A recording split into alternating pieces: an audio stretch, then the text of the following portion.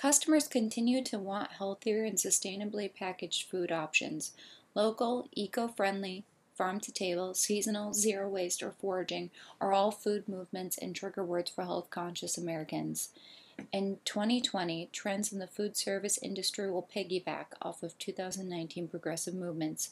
A greater reliance on technology will allow business owners to reach customers in new and different ways, whether that's paying, ordering, or delivering. The definition of restaurant is shifting into a sector of the industry that has never been explored before. The traditional workday has become more fluid than the conventional 9 to 5 employees have become more available to their employers, making the need for quick, high quality foods even more important. People are turning their backs on fast food and turning towards grab and go meals. These are meals that can be purchased at many different types of businesses in disposable containers for a low cost and require you to wait zero minutes before buying. These meals are made fresh daily or frozen in a microwave safe container. These meals are not only convenient, but they also provide other sources of income for small businesses. High end restaurants are also creating grab and go meals for their customers. Grab and go meals have separated themselves from prepackaged foods, which have a terrible reputation for impacting your health. Chef prepared meals with flavor and high quality ingredients in mind packaged sustainably will be a trend that will grow in 2020. Customers cannot help but run into CBD products. Although marijuana has been a hot button issue for many years, the anti hallucinogenic portion of the cannabis plant has been marketed as a way to treat insomnia, pain, anxiety, and is being infused into foods and beverages. In particular, tea, kombucha, and even water infused with CBD can be seen at most, if not every grocery store. Many politicians, regardless of party, are interested in making marijuana legal across the United States. While proponents push its medical benefits, it's also incredibly lucrative and can boost the job market. Another up and coming trend is the meatless or plant based option, the antithesis of the meat based meal or factory farming. People are focusing on vegetarian and vegan meals as a way to improve their health and to combat the misuse of animals. While not only looking at how animals are raised, customers have been acutely aware of the impact of factory farms on our climate. Customers are becoming more aware that their food choices are impacting our world health. Additionally, having plant based, dairy free, and gluten free options on menus allows for people with dairy restrictions not to feel hindered when eating out or ordering food in.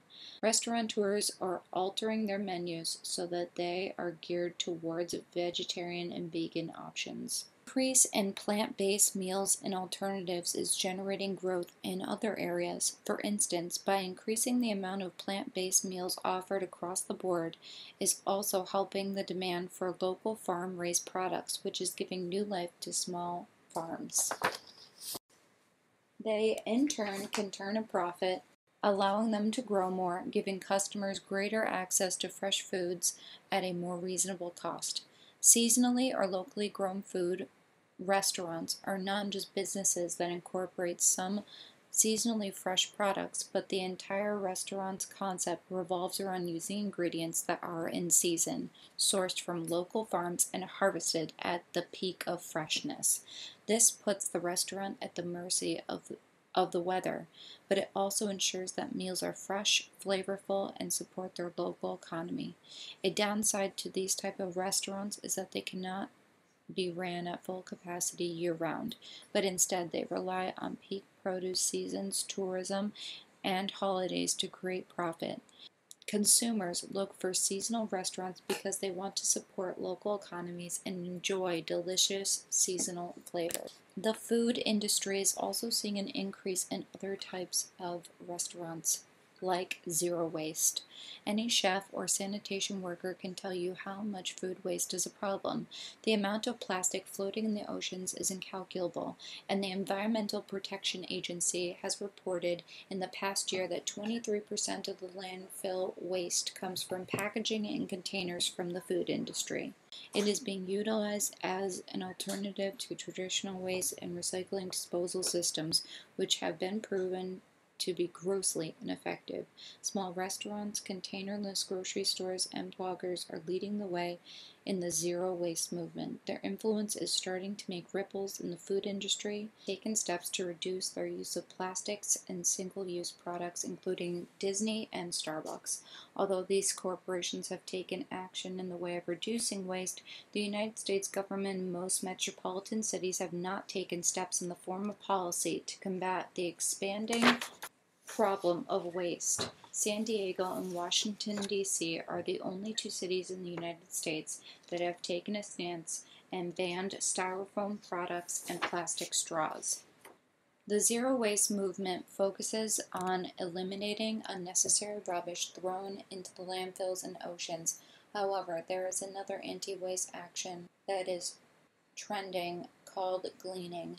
Gleaning harkens back to the ancient custom of field clearing, in which people would harvest leftover crops. This practice is now back in fashion to help prevent food waste. After grocery stores have taken only the most beautiful and best quality ingredients, they leave the rest to rot in the fields. This is because the produce does not meet particular industry standards. Gleaning rejects the notion that fruits and vegetables need to look perfect to be consumed. Billions of misshapen, ugly fruits and vegetables are never seen by paying customers. Some businesses, whether a brick and mortar or delivery, are taking the initiative to prevent food waste. Imperfect Foods and Misfit Market are two great examples of ugly fruit and vegetable home delivery services that are helping to change the perspective of what good quality food looks like. Gleaning is not only trendy, but also economically smart and a good way to utilize ugly produce. Chefs want to make their mark on the food industry, but brick and mortar restaurants can be extremely costly and are sometimes not the best choice for new restaurateurs. On the other side of the aisle, customers are not always looking for a two hour sit down dining experience, but a fun alternative casual dining experience. The answer to both perspectives is the alternative dining space. These include food carts, food trucks, and food halls or communal dining spaces. Food trucks are becoming even more popular as they are expanding their presence into smaller urbanized areas. Different communities can try different or diverse cuisine from around the country at a lower cost than a sit down restaurant. Another growing alternative dining space is a food hall or communal dining space. These food halls are filled with booths that aspiring restaurateurs can rent as a way to test out their restaurant concepts and foods on the public before investing in a much more costly brick and mortar venture. Last but not least is the street vendor or food cart. These restaurateurs generally specialize in one type of cuisine. They're usually clustered together with other street vendors that also have similar specialty dishes. People love trying new food, so being able to bounce around to different vendors or carts and try various specialties is an exciting prospect and will continue to bring in customers. In conclusion, the food industry is changing so dramatically to address climate change, global crisis, and health concerns across the board at a rate that is hard to keep up with. Technology like smartphones, ordering apps, unique payment systems, and delivery systems are becoming the method in which time crunched yet food conscious individuals can stay connected to businesses doing the right thing. Everyone on the planet Earth has to eat, but how we consume is our choice.